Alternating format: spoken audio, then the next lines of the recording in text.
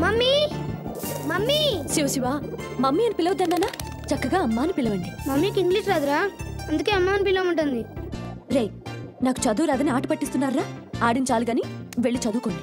లేకపోతే అన్నం పెట్టు మరి పావురాలు గింజలేస్తున్నావు? అవి చదువుకున్నాయా? మిమ్మల్ని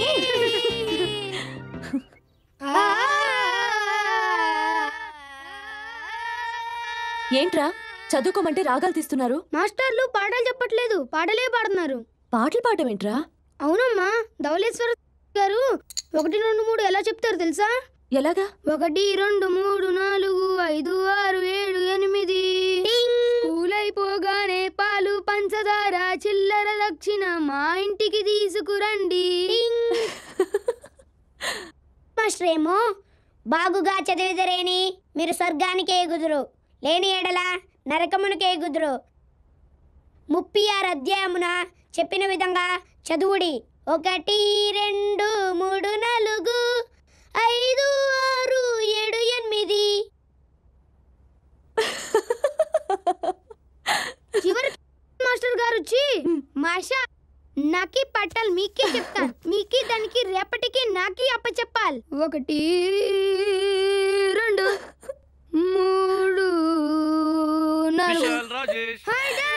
good evening daddy good evening thank you daddy thank you thank you ఏమండి ఇందాకటి నుంచి వీళ్ళు వీళ్ళ మాస్టర్లు ఎలా పాఠాలు చెప్తారో చెప్పి చూపిస్తుంటే నవ్వలేక చచ్చాను. చచ్చానండి అనే మాట మాత్రం అనకు. శివ శివ నేనేదో సరదాగా అన్నానండి. సరదా కూడా ఇంకెప్పుడు అలా అనొద్దు. శివ శివ ఇంకెప్పుడు అనలేండి ఏయ్! ఏమిటి ముగుడిని పేరు పెట్టి పిలుస్తున్నావు? శివ శివ నేను మిమ్మల్ని పేరు పెట్టి ఎక్కడ పిలిచానండి? శివుణ్ణి తలుచుకుంటుంటేను? ఓస్ నా పేరేంటి? శివాజీ. అందులో శివ ఉంది కదూ. మాటి మాటికి శివ శివ అంటే దేవుణ్ణి తలిచినట్టు ఉంటుంది మొగుణ్ణి పిలిచినట్టు ఉంటుంది? అవునా? పోండి. పోయేదెక్కడికి? అసలు విషయం విను. శివుడు అర్ధనారీశ్వరుడు కదా. అందుకే మనల్ని పూర్తిగా కబులించుకోమన్నాడు. అయ్యో. ఒక ముద్దు వదలండి పిల్లలు.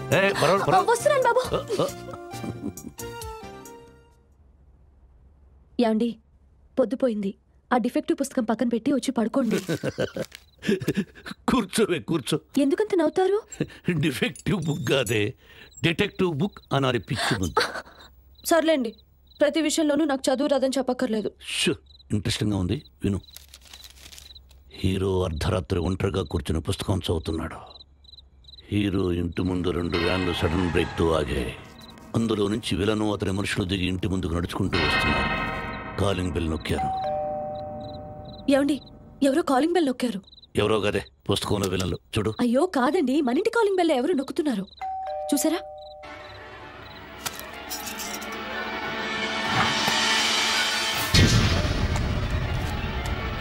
ఏమండి? కంగారు పడుకో.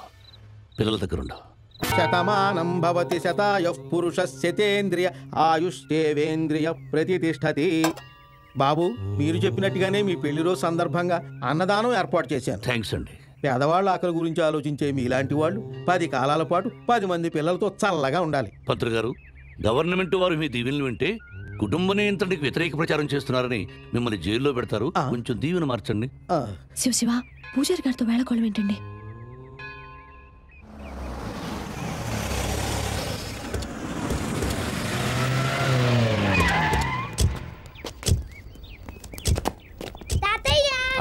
My dear grandchildren. ఇది తాతయ్యకు ముద్దులు పెట్టండి? Shiva I wish you very very happy married life. Thanks daddy Shivaji మీ ఇద్దరి పెళ్ళి రోజుకి నా శుభాకాంక్షలు. థ్యాంక్ యూ పసుపు కుంకాలతో పది కాలాల పాటు నువ్వు చల్లగా ఉండాలమ్మా. శివాజీ ఇది అమ్మాయి మెళ్ళవి.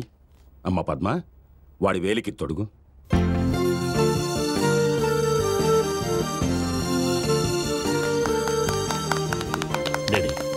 ఇప్పుడు ఇవన్నీ ఎందుకు తెచ్చారు? నీకెంతిచ్చినా ఏమిచ్చినా తక్కువే అవుతాయిరా శివ. మొన్న అమ్మిరాజు వచ్చి నీకు ఎంతో ఆశ చూపించి తనతో చేయి కలపమన్నాడని నాకు తెలుసు. అయినా నా మీదున్న ప్రేమతో ఈ డాడీ నీడలోనే ఉండాలనుకున్నావంటే నీకు ఏమిచ్చి నేను రుణం తీర్చుకోగలను? డాడీ.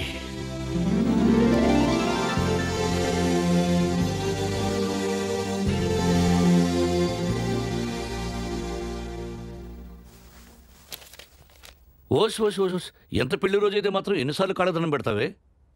Don't talk. డోంట్ టాక్క వామ్మో వామ్మో. నా పెళ్ళం మొట్టమొదటిసారి ఇంగ్లీష్లో మాట్లాడింది. ఒరే రాజేష్ విశాల్ రండ్రా రండి రండి ఏమో రెండు ఇంగ్లీష్ ముక్కలు మాట్లాడాను. దానికి ఇంత గొడవ చేస్తారే? పిచ్చి మోహ ఈ రోజు మన పెళ్ళి రోజుతో పాటు ఇంకో రోజు కూడా. ఇంకో రోజు ఏంటి? శోభనం రోజు. అందరూ పెళ్ళి రోజు అంటారు గాని శోభనం రోజు అనరే. ఊరుకోండి. పద్మ మన శోభనం రోజు పనులన్నీ వరుసగా వరుసెట్టి మొదలెట్టినా? ఉండండి పిల్లలు ఇంకా నిద్రపోలేదు. ఓ పందెం వేసుకుందాం. పిల్లలు ఉండగానే వాళ్ళకి తెలియకుండా వరుసగా నీకు ముద్ర పెడతాను. ఓకేనా? ఎలా పెడతారు? అమ్మా నువ్వు పందానికి రెడీ అంటే చెప్తాను. సరే అయితే. వాళ్ళెదురుగా వాళ్ళకి తెలియకుండా ముద్దులు పెడితే ముద్దుకి రెండు ముద్దులు ఇస్తాను. సరేనా? Very good. అయితే నువ్వు ఇక్కడే ఉండు ఇప్పుడే వస్తాను ఇప్పుడే.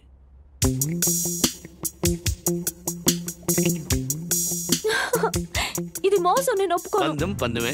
ఏంటి డాడీ? ఏం లేదు బాబు. మీ అమ్మకి నేను ఒకటిస్తే తను నాకు రెండు ఇస్తానంది మీరు ఇలాగే ఉండండి.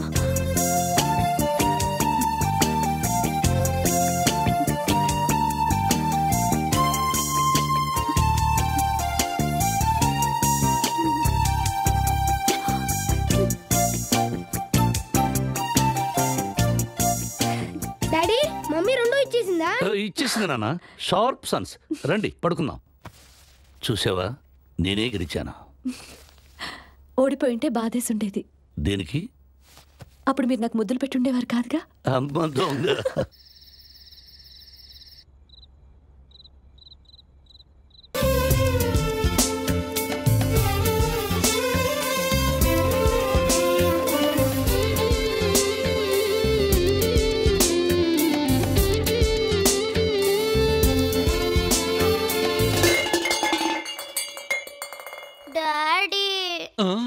డాడీయా ఇక్కడ ఏం జరగలేదు నాన్న. నువ్వు పడుకో నువ్వు పడుకో. పాసుకు డాడీ.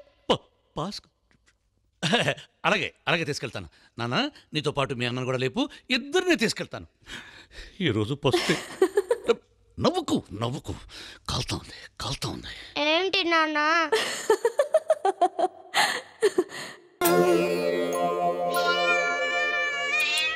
మంచి శకునం. పని తప్పకుండా జరుగుతుంది.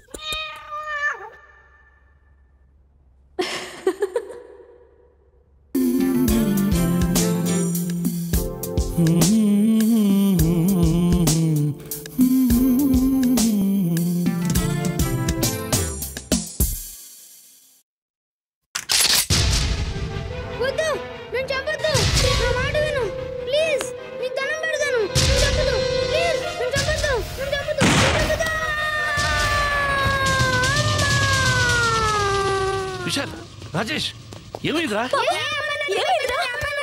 ఏం జరిగిందిరా? గంతో ఆడుకున్నాను డాడీ. వీడు దొంగ నేను పోలీస్. వీడిని నేను కాల్ చేశాను. రాస్కల్స్ ఇంట్లో ఎన్ని బొమ్మలు ఉండగా ఇదే దొరికిందిరా మీకు ఆడుకోవడానికి? ఎవరు గురించారా అదని అమ్మ చాక్లెట్లకి ఇచ్చిన డబ్బులు దాచుకొని కొను. తుపాకీలు కొంటారు తుపాకీలు. ఏమండి? ఇంకెప్పుడైనా ఇలాంటి తుపాకులతో ఆడుతూ కనిపించారంటే తోలు ఉరిచేస్తాను జాగ్రత్త. మమ్మీ.